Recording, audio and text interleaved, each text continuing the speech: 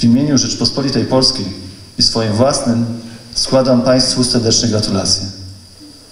Życzę długich lat życia, zdrowiu i spokoju. Życzę powodzenia, radości i szczęścia.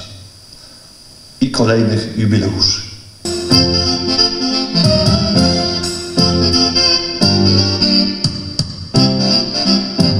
Szukałam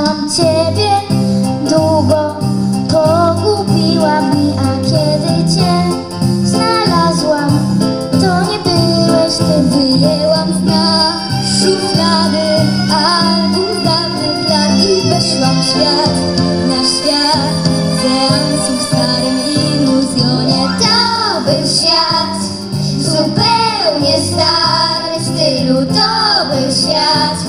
Starszy automobil, śmieszny świat Pasjanse, potem koncert,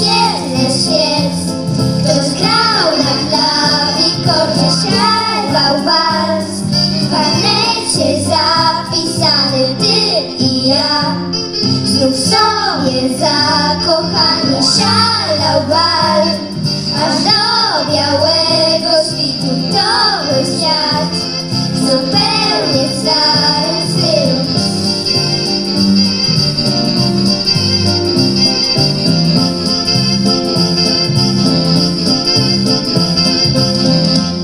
tej chwili trwa uroczystość jubileuszowa.